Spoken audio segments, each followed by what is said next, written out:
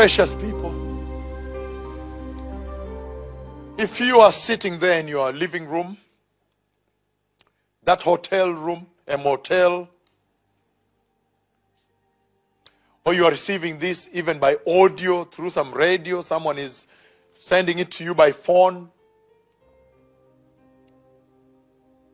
Whichever way, if you feel in your life that your salvation has not presented the hallmark, the feature, the characteristic of obedience to the Lord, then the Lord is saying, This is the hour at which we need to change conformity and become more heavenly and become obedient. And if that is you, even at home, and you have never received the Lord before, and now you feel like this word has touched you, you want now to obey. Obey the cross at Calvary and the blood. Obey the call to salvation. Repeat this prayer. Say, Dear Jesus, I have heard your word, your holy word. And Lord, I know that your word is established in heaven. And I ask you, my Father, my everlasting Father, to establish your word in my life the word of salvation. I repent of all sins and receive you in my life.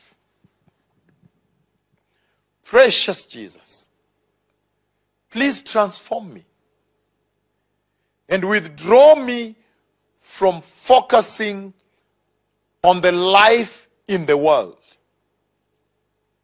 on this earthly living,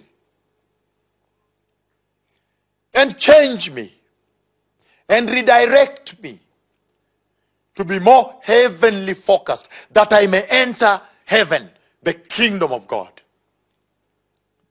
In the mighty name of Jesus, I am born again.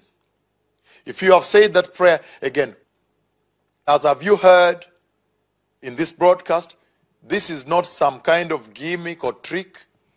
This is now the holy word. It's about salvation, the salvation of the cross. And it's not about money. This is about preparing you that after living this short life on this earth, you can have eternal peace with God. Make sure you're baptized and you find a Bible teaching church, not a church where the pastor is comical, comedian, making you laugh. I am talking about a church where the pastor is teaching salvation, salvation of the cross, salvation of the blood, the old rugged cross, the abandoned cross, the cross at Golgotha. May the Lord bless you. Prepare the way. The Messiah is coming. Shalom.